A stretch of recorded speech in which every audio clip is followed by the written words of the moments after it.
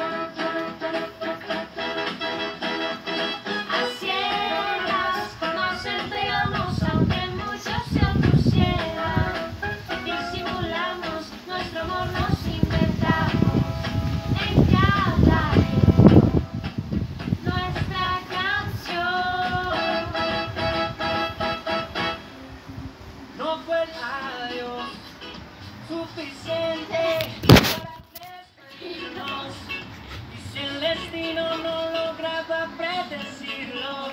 Tú me